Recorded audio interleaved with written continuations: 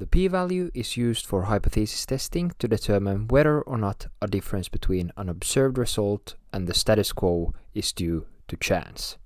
When the p-value is being calculated, it is initially assumed that there is no true difference between the status quo and the observation. This is what we call the null hypothesis. A result is said to be statistically significant, or in other words, not due to chance, if the null hypothesis can be rejected. The null hypothesis can only be rejected if the p-value is less than or equal to the significance level.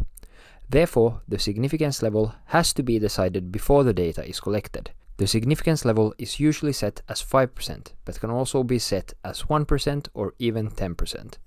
The p-value for a normal distribution can be determined by calculating the z-score for a given event using the formula z-score equals sample mean minus mean of null hypothesis divided by the sample standard deviation divided by the square root of the sample size. Then a z-score table can be used to find the associated probability of the event.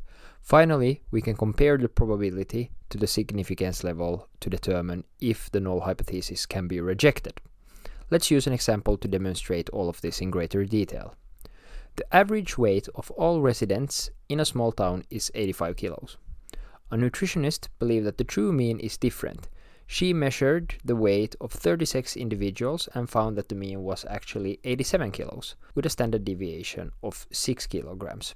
At a 95% confidence interval, is there enough evidence to discard the null hypothesis? In this case, the null hypothesis would state that the true mean is 85 kilo, which was the status quo before the nutritionist arrived.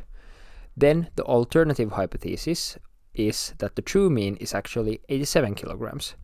As the sample size is 36 individuals, which is more than 30, we can use the z-test instead of the t-test. In this case, as we are dealing with a normal distribution, the confidence interval, or C, is the area in the middle of the curve. Therefore, the significance level, or alpha, exists in equal proportions on both sides of the curve.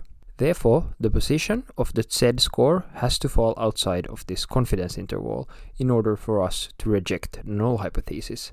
In other words, the probability associated with the z-score has to be less than 2.5% or more than 97.5%. Now let's plug in the numbers into our formula and simplify. This gives us a z-score of 2.0. If we now pull up a z-score table, we find that the probability associated with 2.0 is 97.725. Remember, this shows us the area of the normal distribution to the left of the z-score, meaning that it includes all of this area. This is slightly more than 97.5%, meaning that we can reject the null hypothesis. In other words, the true mean of the weight of this town is indeed 87 kilograms and not 85 kilograms. If you want to learn more about statistics, check out this playlist.